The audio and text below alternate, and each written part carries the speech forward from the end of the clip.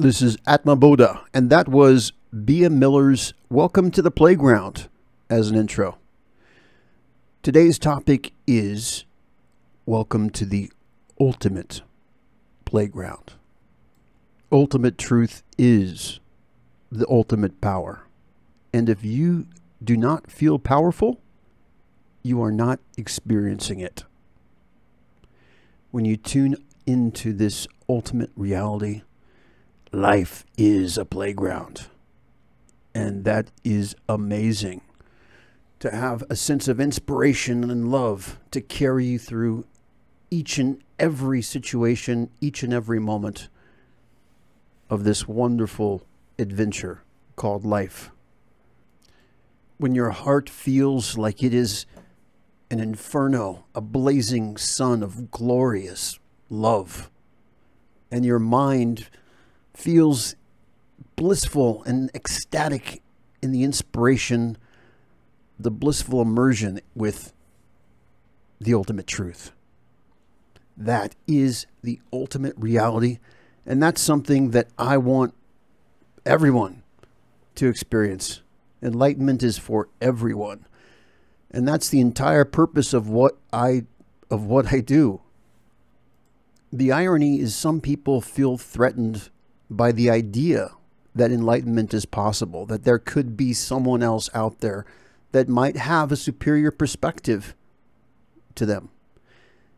And the reason why it's ironic is because the more you get to that place of truth, the, the closer you get to that ultimate truth, the more of a servant you become. Actually, you're become a glorified servant, a force of nature, if you will, because what you are doing is trying to help others and you're trying to help others arrive at that place too. And the reason you do that is because that's just your nature. You you realize that you're just one your body is just one person and you're much more than your body and you look around you and you see other people have not got that yet and you you want to help them to break out of their shells. But at the same time, you know that if you help a baby chick break out of its shell, the baby chick will die. It needs to break out of that shell on their own. That's how their muscles get built in order to survive the onslaught of the survival of the outside world. It, without building those muscles, the baby chick would die. And so the same thing is true with someone who has some degree of mastery and illumination. You also have the wisdom to realize that you can't, you, you don't want to compel anybody. You don't want to um, make people weaker. You want people to overcome struggles on their own and through independence that you earn, that makes you stronger. And it's a paradox because while you want to help, you realize there's limits to what you can do because even if you had the power to magically make everybody enlightened, you're not you're not really helping them. If that makes any sense. It, people have to come to those realizations on their own. So someone who wants to help can endeavor to be as much of an inspiration as possible to give people the right ideas and the right way of thinking so that they can overcome their obstacles in a more efficient manner. It's kind of like saying, okay, yes, you need to break out of the shell on your own, but if you hit it right here, there's a weak point and you can come out of the shell a little bit easier. Or maybe if you um, attack it from this angle or from this perspective, or just giving words of encouragement like, don't give up. You can do it. Don't worry. We got your back. You're not the only person out there that has had struggles, and you can overcome those on your own. And the great thing about this is that when you have that positive, optimistic perspective, that approach to the problem, it makes everything so much easier. So, in my opinion, you don't have to suffer too much during this process of breaking through that next threshold of illumination, that upgrade on your on your spiritual path. It can be easier. And how it becomes easier is by removing your self-limiting beliefs and, and believing in yourself and believing that you are unlimited and not only believing that but trying to believe that and maintain that with every breath whether you're at work, whether you're on the toilet, whether you are in bed, whether you are with your friends, whether you are talking with your enemies, whether you are at school, whether you're in a cinema watching a movie. It's like every situation, you have the power to overcome and be who you want to be. That there is within you a greater you an inspired you. One mistake I feel that is made in developmental psychology and Freudian psychology is they talk about needing to relive your past traumas. And that is one aspect that I I disagree with. There's two ways that you can overcome trauma. Yes, you can overcome trauma by going into it deeply and reliving those experiences. But when you relive something, you're keeping that experience also more or less fresh in your mind. And you don't want these traumatic experiences to be what defines you.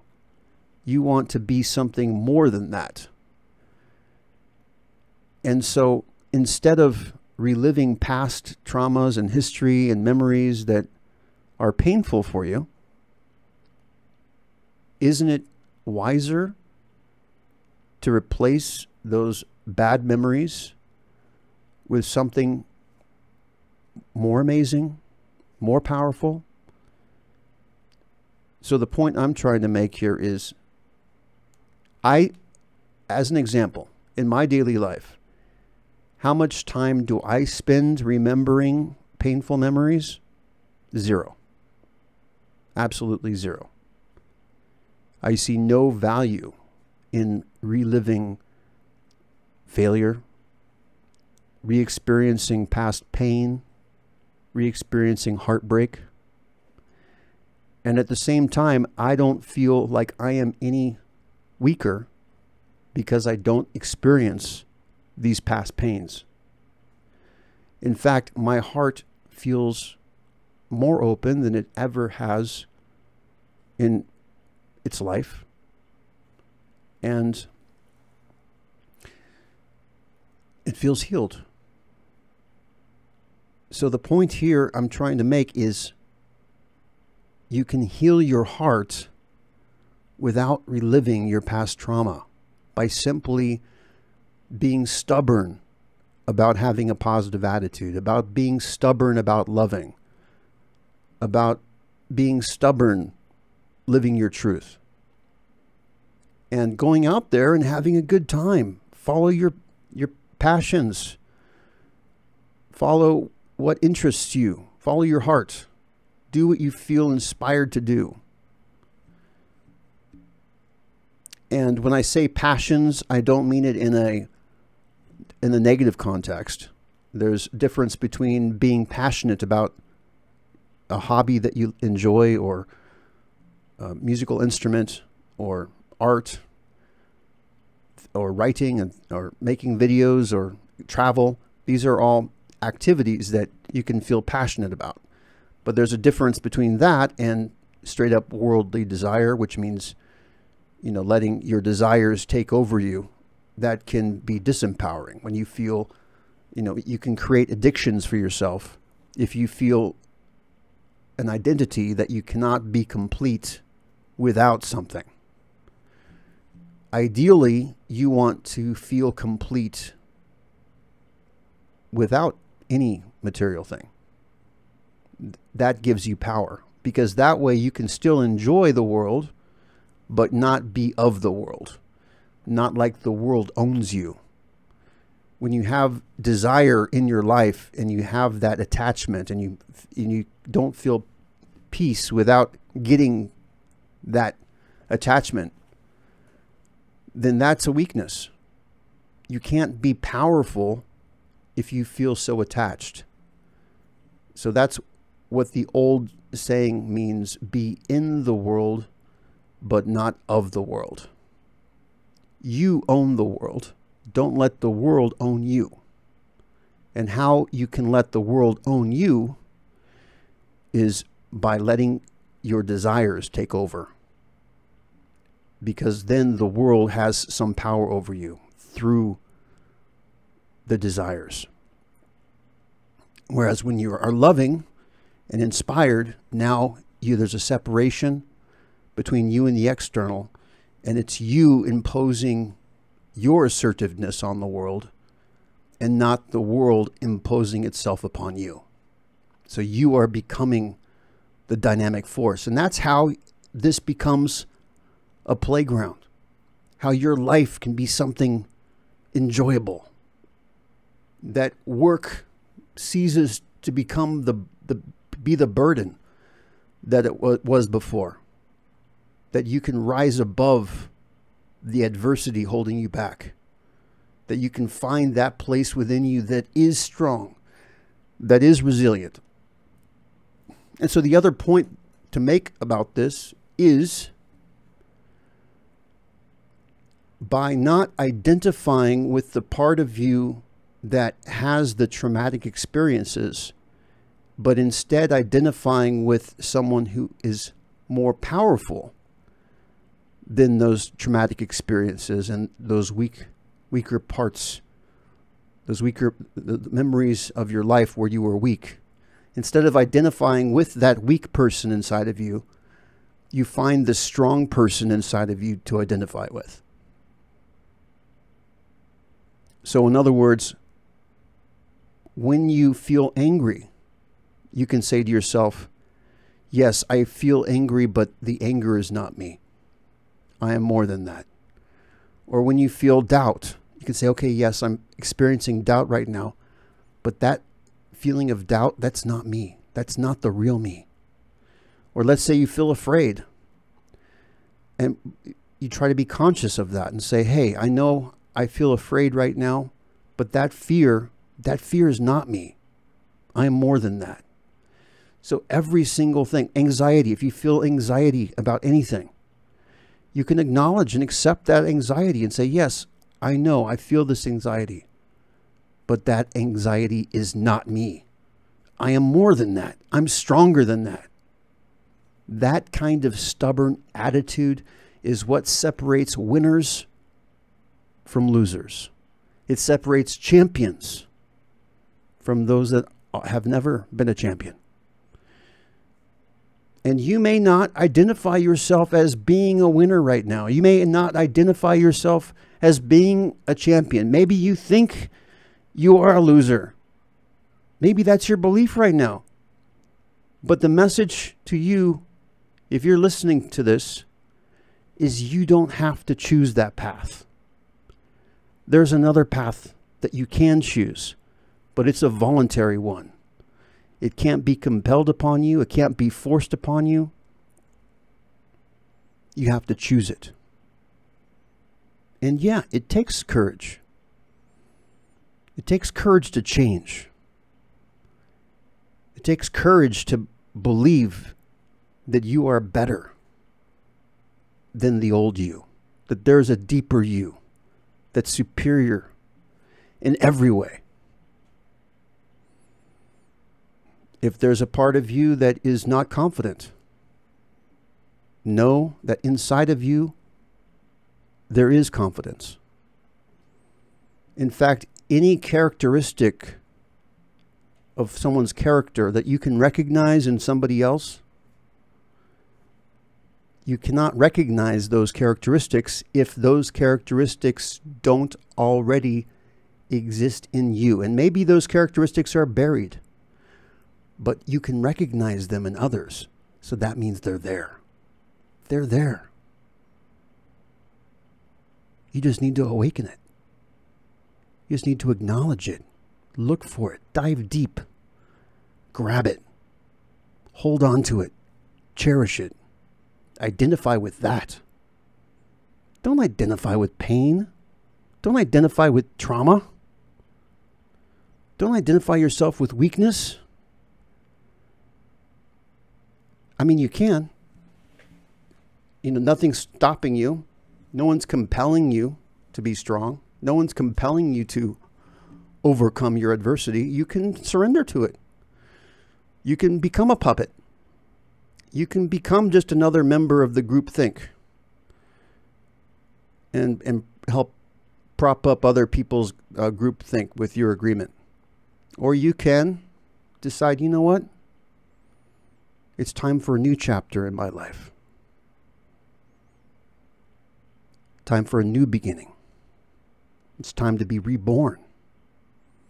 To be like the phoenix emerging from the ashes and rising triumphantly with splendor and grace. You can do that. In fact, that is you. Do you want that secret, hidden, deeper you to remain buried? Or do you want to breathe fresh life into it? And yet, and let this deeper you consume your identity to reclaim your destiny, to reclaim what's rightfully yours, and not be held back by oppressors, those that tell you that you're weak, those that tell you that you can't, that things are beyond your control, that you should just accept your fate and be disempowered and just all you can do is cope do you just want to be a coper all your life? Just someone who copes? You don't have to. You don't. Because you can welcome yourself and be welcomed into the ultimate playground. But you know what? In order to arrive at the ultimate playground, you need to make a stand for yourself first. You need to recognize that you're worthy of it. You can do it.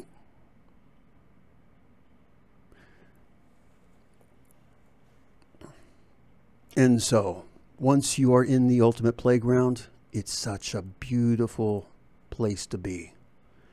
Every morning, being able to wake up to a new experience of bliss and love, to regard every moment as a celebration of life.